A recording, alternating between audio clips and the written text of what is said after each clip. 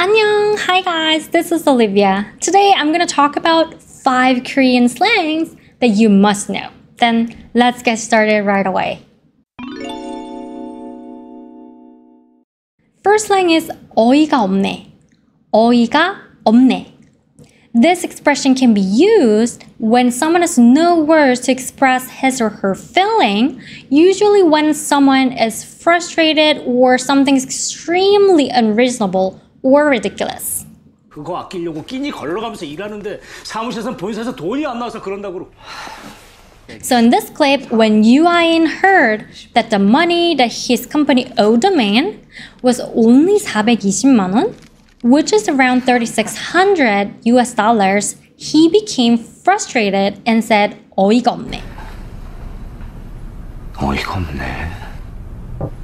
어이가 없네. Because 3600 US dollar is nothing to him. So when you say it, it's not 어이가 없네.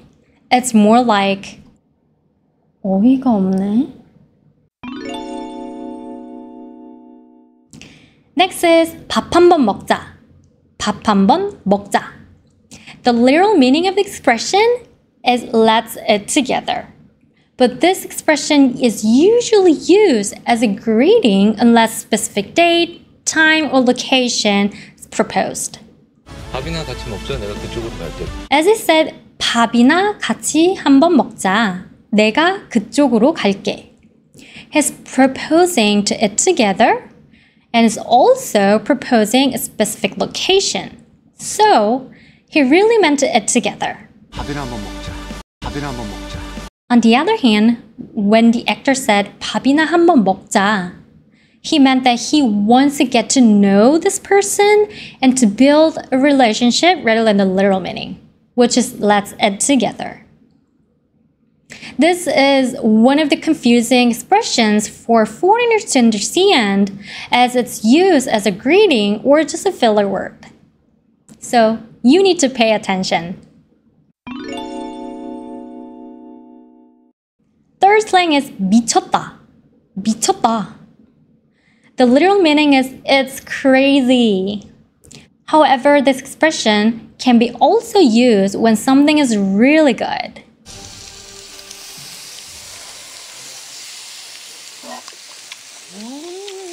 와, 김치 미쳤다. As Hwasa said, 김치 미쳤다. She meant the kimchi tastes so good as it can go crazy. You know what I mean? Next slang is 킹받네. 킹받네. Which means you are angry or you got tight. Younger people use this expression literally every day whenever they are mad or angry.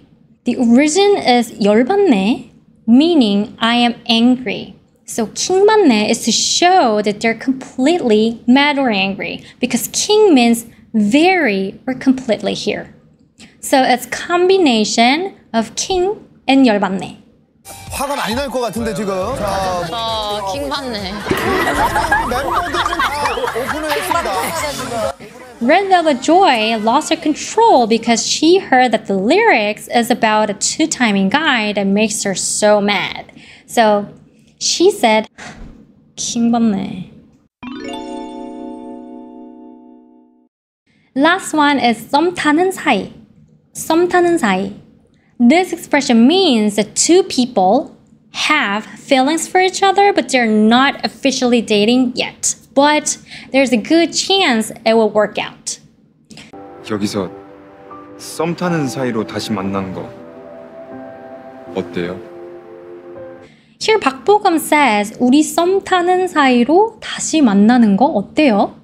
He's asking whether they have a chance or not. 썸 타는 사이로 다시 만난 거로 해요 우리. And 송혜교 replied with 우리 썸 타는 사이로 다시 만나는 거 해요. Meaning she's also interested in moving forward with the arrangement. Thanks for watching. If you like my video, don't forget to subscribe, like, and set notification for more videos like this and everything else about Korea. Then I'll see you guys next time. Bye!